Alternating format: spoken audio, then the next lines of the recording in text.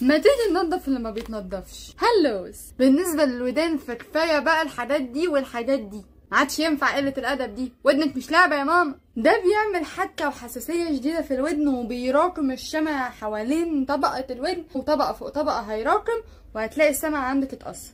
طب بالنسبة للبنس غلطة بسيطة هتلاقي طبلة ودنك اتخرمت. لأن زي ما قلت اللعب في الودان بيعمل حساسية وانت ممكن تتكي قوي تلاقي الدنيا باظت خالص. طبعا كل الكلام ده هبل. فيلا نجيب حاجات جديدة. جبتها أنا شفتها كده على جوميا. هفتحها أول مرة معاكي. وبالمناسبة دي أول مرة أجربها برضه. ما جربتهاش قبل كده. آه راحة نفسية. بطل هبل بقى. مبدئيا هي فيها جوزين يعني أربع وحدات وجايين معاها القرص ده. وطبعا ط... يوه.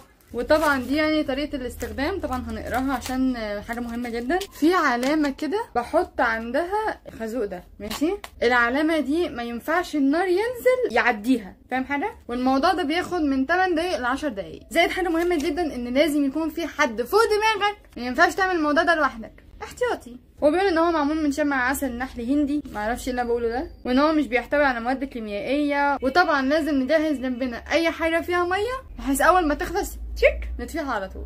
وطبعا لازم تكوني لما شعرك وفي وضع مريح. أنا حاسة إحساس غريب جدا.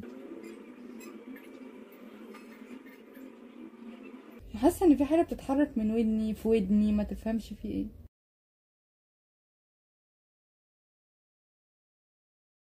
أنا بصراحة خفت البتاع الاسود ده يقع على شعري فوقفت. يعني هي ما بينها وبين العلامه حاجات بسيطة وفعلا خدت معايا سبع دقايق بالظبط وكان لسه فاضل حتة يعني. وريحتها مش بشعة قوي. يعني طب إحنا لو فتحنا هنلاقي حاجة يا. وأنا ما انصحش ابدا ان أنتوا تشوفوا اللي أنا شايفاه بس هو طلع بلاوي يعني. هو بصراحة وهو في ودني يعني حسيت بوجع شوية بس أنا حاسة إن ودني نطفت يعني. حاسة في هوا داخل كده زي ما هم قالوا بالظبط. في فرق ما بين الودنين يعني. وكنت حابة أشوف اللي طلع ده أصلا هو جوه البتاع ده. جيت أفك الحتة اللي تحت دي. لقيتها فاضية جدا من جوه. والحاجات اللي كانت جوه كانت عبارة فعلا عن شمع. مش شمع شمع اللي هو شمع الودن اللي إحنا كلنا عارفينه ده. خش على التانية كده. 298 frozen patties later. أنا حاسة إحساس إن ودني فعلا نطفت. الاتنين. هي الطريقة دي نافعة جدا وحلوة وأمنة وكل حاجة بس طبعا الأفضل إن بصفة دورية كل شهرين مثلا تروحي للدكتور تنضفي ودانك. يعني دي حاجة مهمة جدا إنها تتنضف بجد يعني. لو سمحت. بالنسبة للسان يا أختي مارينا الحق ينقال في ناس ما تعرفش إن المفروض يغسلوا لسانهم أصلا.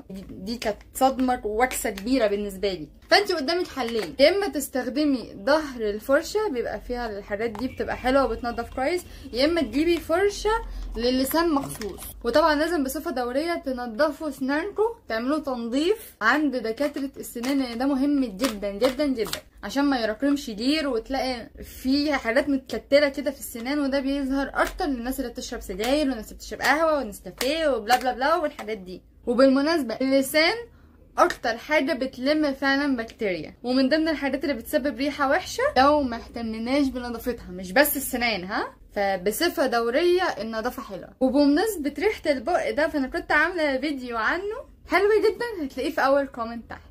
قشطة؟ باي!